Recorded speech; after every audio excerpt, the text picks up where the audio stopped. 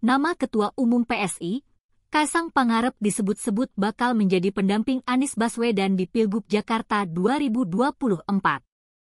Kasang pun telah menyatakan tidak keberatan jika dipasangkan dengan Anies di Pilgub Jakarta November mendatang.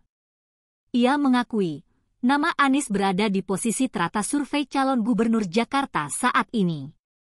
Namun, respons berbeda ditunjukkan PKB dan PDIP terkait wacana duet Anies Kaisang tersebut.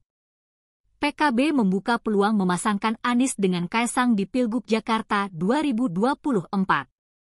Hal itu disampaikan Ketua DPW PKB DKI Jakarta, Hasbialah Ilyas dalam jumpa pers di kantor DPW PKB Jakarta Imur. Ilyas bahkan mengakui sudah menjalin komunikasi dengan PSI.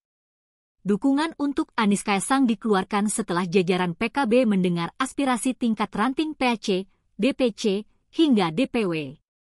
Berbeda dengan PKB, PDIP langsung menolak wacana duet Anies Kaisang di Pilgub Jakarta mendatang.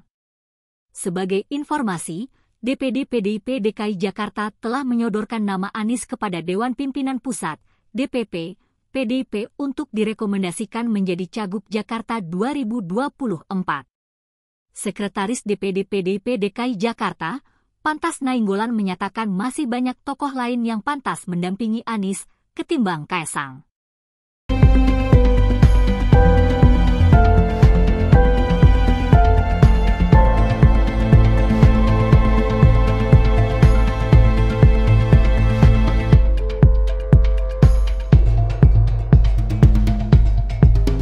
Download Tribun X sekarang menghadirkan lokal menjadi Indonesia.